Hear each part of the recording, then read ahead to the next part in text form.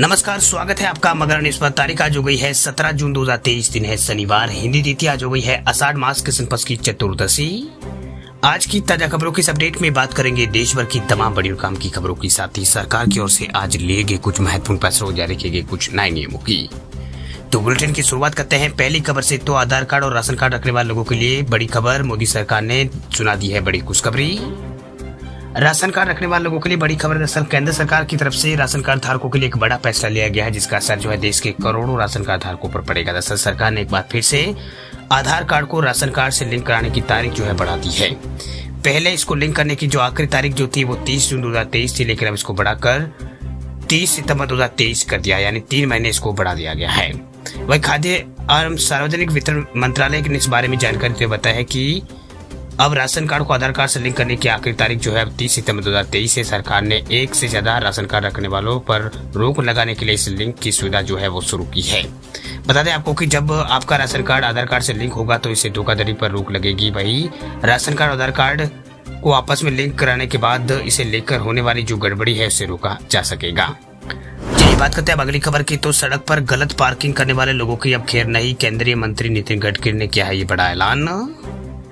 देश में सड़कों पर अक्सर लंबे जाम गलत तरीके से पार्क होने वाले वाहनों के कारण लग जाते हैं। अब इसे छुटकारा पाने के लिए केंद्रीय मंत्री जो है नितिन गडकरी, उन्होंने खास तैयारी यहाँ पर वो कर रहे हैं। इसको लेकर गडकरी ने पिछले दिनों कई कार्यक्रम में खास ऐलान किया था।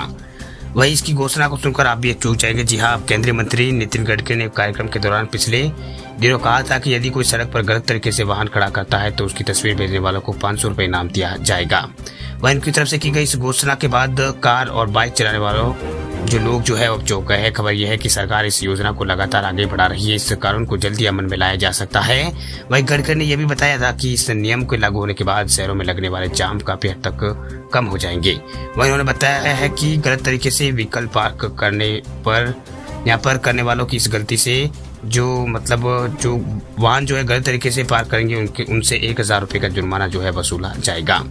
वही गडकरी ने कहा था कि इस कानून को लाने का मकसद गलत तरीके से वाहन पार्क करने वालों की आदत पर लगाम लगाना है। उन्होंने कहा है कि मैं एक कानून लाने वाला हूँ उसके अनुसार जो भी सड़क पर वाहन पार्क करेगा, उस पर एक हज़ार रूपए या फिर जो गलत वाहन पार्क करेगा, उनके ऊपर एक हज़ार रूपए का जुर्माना लगाया जाएगा। इसके अलावा गलत तरीके से वाहन खड़ा करने वालों की तस्वीर भेजने वालों को पाँच सौ रूपए का इनाम जो है वो दिया जाएगा। चलिए बात करते हैं अगली खबर की। तो ऑनलाइन गेम्स खेलने वाले लोगों के लिए बड़ी खबर देखिए। दिल्ली में तय होगा ऑनलाइन गेमिंग पर टैक्स का भविष्य। ग्यारह जुलाई को होगी जीएसटी की मीटिंग। बीते कई महीनों से ऑनलाइन गेमिंग पर टैक्स लगाने को लेकर चर्चा हो रही है। बीती कई जीएसटी काउंसिल की मीटिंग में ये एक प्रमुख एजेंडा रहा है। इसको एक जियो एम भी यहाँ पर बना पड़ा है। अब 11 जुलाई को दिल्ली में जीएसटी काउंसिल की जो पांचवी बैठक जो है होगी उसमें यहाँ पर तय हो जाएगा कि online gaming casino horse race और इसके अलावा दूसरे जो गेम्स हैं, उनके ऊपर टैक्स पर मोहर लग जाएगी। वही दूसरी बैठक में फैक रजिस्ट्रेशन और इनपुट टैक्स क्रेडिट यानी आईटीसी के थ्रू यहाँ पर फ्रॉड पर नकेल कसने के लिए भी चर्चा जो है वो की जाएगी। बात अब करते हैं अगली खबर की तो आम आदमी के लिए राहत की खबर देखिए, सस्ते हो सकते हैं इलेक्ट्रॉनिक प्रोडक्ट्स दिवाली के समय महँगाई से राहत मिलने की अभी उम्मीद जताई जा रही है। दरअसल इलेक्ट्रिक प्रोडक्ट की मांग बढ़ने से इलेक्ट्रिक सामान जैसे कि मोबाइल टीवी लैपटॉप है, ये अन्य सामान जो है, इनके दामों में गिरावट हो सकती है।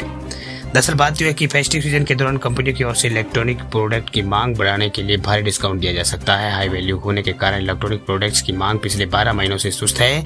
ऐसे में कंपनियों को यकीन है कि मांग बढ़ने के साथ ही लाभ में बढ़ोतरी होगी। वही कोविड के बाद से टीवी, मोबाइल और कंप्यूटर उपकरण को कारखाना तक पहुँचाने की लागत में भारी कमी आई है, जो की कोविड के दौरान रिकॉर्ड हाई लेवल पर थी। अब ये घटकर जो है कम हो चुकी है। वे कोविड के दौरान चीन से माल ढुलाई जो है आठ हज़ार डॉलर थी। वही ने बताया कि वे अब जो है साढ़े आठ से एक हज़ार डॉलर गिर चुकी है। वही सेमी सेमीकंडक्टर चिप की कीमतें जो है वो कोविड के समय यहाँ पर रिकॉर्ड लेवल पर घटकर कम हो चुकी है। वही इंडस्ट्री के अधिकारियों के मुताबिक इलेक्ट्रॉनिक्स कंपोनेंट्स की कीमत जो है साठ से अस्सी फ़ीसदी तक ये कम हो चुकी है। वह एक्सपोर्ट जो एक्सपर्ट है, उनके मुताबिक माल ढुलाई की लागत में ग्लोबल स्तर पर गिरावट हुई है, जबकि कुछ देशों में मंदी के कारण थोड़ी कम गिरावट यहाँ पर हुई हालाँकि कुछ इंडस्ट्रीज़ एक्सिक्यूटिव का कहना है कि माल ढुलाई की कीमत में चार से पाँच फ़ीसदी ज़्यादा है, लेकिन ये बढ़ोतरी कमज़ोर मांग के कारण हुई है। बात अब करते हैं अगली खबर की तो अगली खबर है आधार कार्ड अपडेट को लेकर मुफ़्त आधार कार्ड अपडेट करने की अब बड़ी है तारीख, अब तीन महीने और मिल गया है मौका।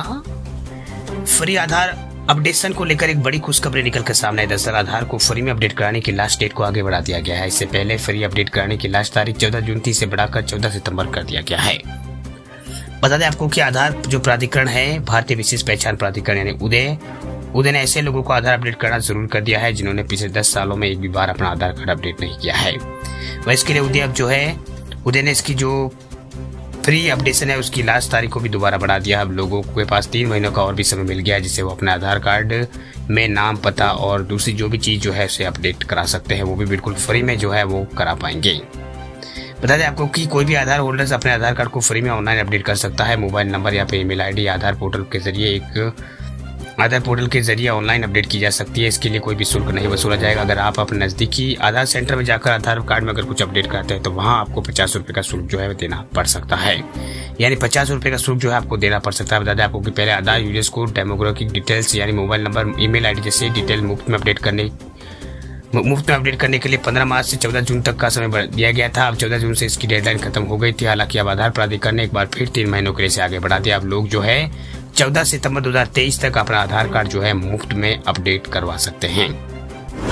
चलिए, बात करते हैं अब अगली खबर की। तो मध्य प्रदेश के किसानों के लिए खुशखबरी देखिए। शिवराज सरकार मध्य प्रदेश के किसानों को अब देगी चार हज़ार की जगह छह हज़ार सालाना।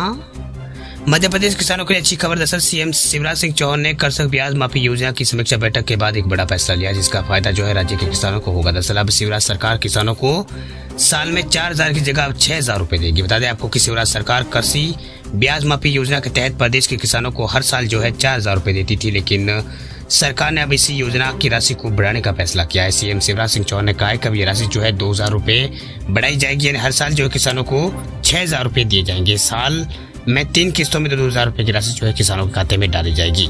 यानी एमपी के किसानों जो भी किसान एमपी के जो है, उनको छह हज़ार रुपए शिवराज सरकार की तरफ़ से मिलेंगे और छह हज़ार तो है मोदी सरकार की पीएम किसान सम्मान निधि योजना के मिलेंगे। यानी सालाना बारह हज़ार रुपए मिलेंगे। यानी हर महीने जो है, एक हज़ार रुपए की सहायता जो है सरकार की ओर से होगी किसानों के लिए। बात हम करते हैं अगली खबर की। तो पेट्रोल, डीजल को लेकर बड़ी खबर देखिए। रूस से 80 परसेंट कच्चा तेल भारत और चीन ने खरीदा भारत का रूस से क्रूड इंपोर्ट 20 लाख बैरल रहा है प्रतिदिन।